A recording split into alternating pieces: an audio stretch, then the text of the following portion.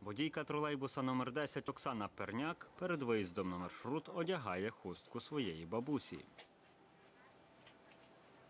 Подивилась по інтернету, як от маланки, як ці самі, як в'яжуть хустки. Спочатку була, я собі знайшла бантик, як робити солохо в інтернеті з меншої хустки.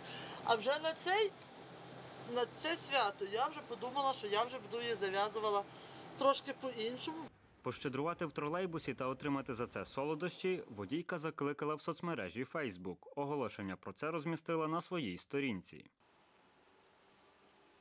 Тернополянки Дарина та Софія Волянські чекають на 10-й тролейбус, щоб доїхати з вулиці Замкової до проспекту Степана Бандери. Але дівчата вміють щедрувати? Ні. Ну то щедруйте. Ой, сивая тая зозуленька, щедрий вечір, добрий вечір,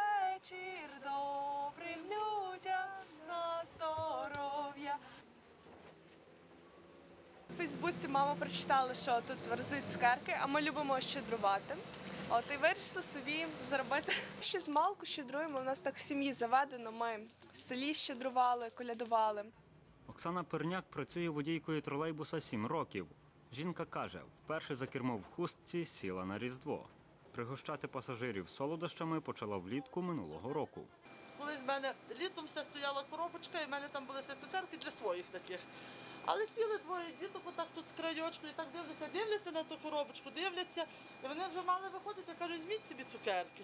І так тепер кожного разу, навіть якщо я не в хусті, чи там я на маршруті, то в мене вже є діти, які просто приходять в тролейбус і заглядають ту коробку, чи там є цукерка, чи там її нема.